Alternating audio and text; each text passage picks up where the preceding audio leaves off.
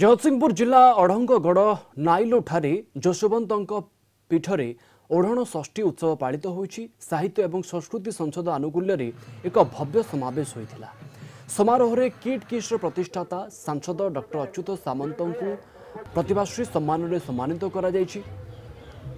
ସମ୍ବାଦର ସମ୍ପାଦକ ତଥା ବିଧାୟକ ସୌମ୍ୟରଞ୍ଜନ ପଟ୍ଟନାୟକଙ୍କୁ ସାହିତ୍ୟ ପ୍ରତିଭା ଏବଂ ଡକ୍ଟର ଆର୍ଯ୍ୟ କୁମାର ଜ୍ଞାନେନ୍ଦ୍ରଙ୍କୁ ଧର୍ମ ଏବଂ ସଂସ୍କୃତି ସମ୍ମାନରେ ସମ୍ମାନିତ କରାଯାଇଛି ସାଂସଦ ଡକ୍ଟର ଅଚ୍ୟୁତ ସାମନ୍ତଙ୍କ ଅନୁପସ୍ଥିତିରେ କାଦମ୍ବିନୀ ଓ କୁନି କଥାର ସମ୍ପାଦିକା ଡକ୍ଟର ଇତିରାଣୀ ସାମନ୍ତ ଏହି ସମ୍ମାନ ଗ୍ରହଣ କରିଥିଲେ ଏହି ଅବସରରେ ସଂସଦର ବାର୍ଷିକ ସ୍ମୃତିପତ୍ର ତୀର୍ଥକୁ ଉପସ୍ଥିତ ଅତିଥିମାନେ ଉନ୍ମୋଚନ କରିଥିଲେ ଏଥିସହିତ ଅନ୍ୟ ଏକ ମଞ୍ଚରେ ଓଡ଼ିଶା ସାହିତ୍ୟ ଏକାଡେମୀ ଏବଂ ଯଶୋବନ୍ତ ସାଂସ୍କୃତିକ ବିକାଶ କଳା ଅନୁଷ୍ଠାନର ମିଳିତ ଆନୁକୂଲ୍ୟରେ ମହାପୁରୁଷ ଯଶୋବନ୍ତଙ୍କ ରାଜ୍ୟସ୍ତରୀୟ ଶ୍ରଦ୍ଧା ଶ୍ରାଦ୍ଧ ଉତ୍ସବ ଏବଂ ଅନୁଷ୍ଠାନର ଏକଚାଳିଶତମ ପ୍ରତିଷ୍ଠା ଦିବସ ପାଳିତ ହୋଇଛି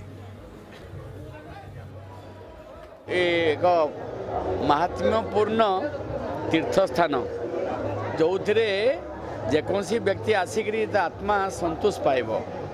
ମୁଁ ଏଭଳି ପୀଠରେ ଯୋଗ ଦେଇଥିବାରୁ ନିଜକୁ ଧନ୍ୟ ମନେ କରୁଛି। ଯେଉଁ ମହୋତ୍ସବରେ ଆଜି ଆସି ନିଜକୁ ଧନ୍ୟ ମନେ କରୁଛୁ ଇଏ କେବଳ ଜଗତସିଂହପୁର ଜିଲ୍ଲା ନୁହଁ ସାରା ଓଡ଼ିଶାରେ। ପଞ୍ଚସଖା ହିସାବରେ ଓଡ଼ିଆ ଜାତି ଗର୍ବ କରେ ଯାହାଙ୍କ ପାଇଁ। ସେ ପଞ୍ଚସଖା ଭିତରୁ ଅଗ୍ରଗଣ୍ୟ ଯଶୋବନ୍ତ ଦାସଙ୍କ ପୀଠ ଇଏ। ଏ ପୀଠର ବହୁତ ମାହାତ୍ମ୍ୟ ରହିଛି ଏବଂ ଏଇ ବିରିଡ଼ି ବ୍ଲକର ଏଇ ଅଢ଼ଙ୍ଗରୁ ଆମର ମଧ୍ୟ ଦାରୁ ମା ସୁଭଦ୍ରାଙ୍କ ଦାରୁ ମଧ୍ୟ ବାହାରିଥିଲା।